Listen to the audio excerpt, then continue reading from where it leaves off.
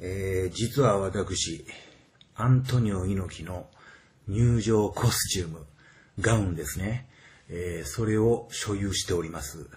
それをこれから皆さんにお見せしたいと思います。えー、心の準備はいいですか？いきますよ。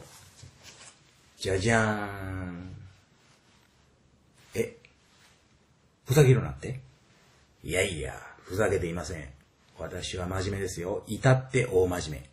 ではどういうことか説明しましょう。えー、こちらですね、ラミネート加工されているカードなんですが、これ裏見てみましょう。皆さん見えますか？闘魂ライブパート2、えー、1987年3月26日木曜日、大阪城ホールと書いてますね。えー、証明書。これは昭和54年から57年にかけて、アントニオ猪木が愛用していたガウンの一部であることを証明します。新日本プロレス株式会社とあります。そうなんですよ。実はね、これ、この部分ですね。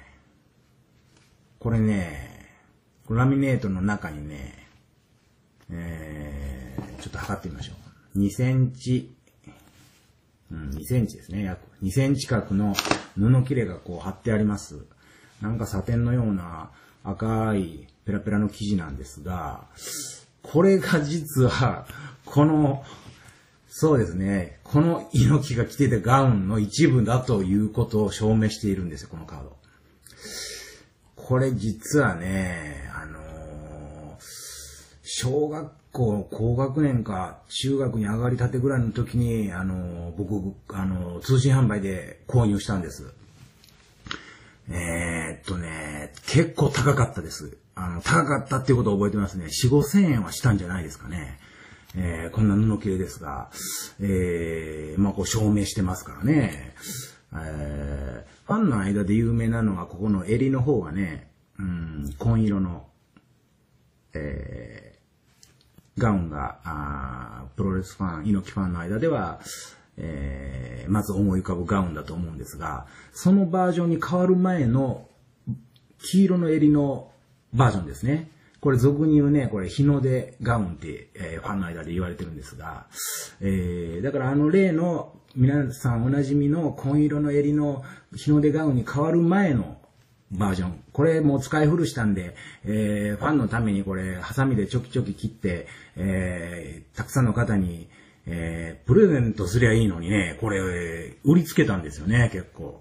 アコギなことしますね。えー、それを僕はまんまと購入してしまったというわけです。まあでも、これは、うん、新日本プロレスの、えー、公式ショップで、あの、購入したので、えー、その辺にあるね、あの、うさんくさいプロレスグッズを扱うような、えー、店で買ったのではないんで、ちゃんとした新日本プロレスの、えー、公式ショ公式ショップで買ったので間違いないですね、これは。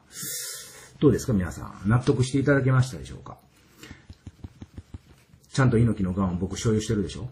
うん、まあ、厳密に言えばね、えー、オイラ、猪木のガウンの一部を持ってるぜ、なんですけど、まあね、そんな細かいことはいいじゃないですか。ええということで、えー、どうもご視聴ありがとうございましたと。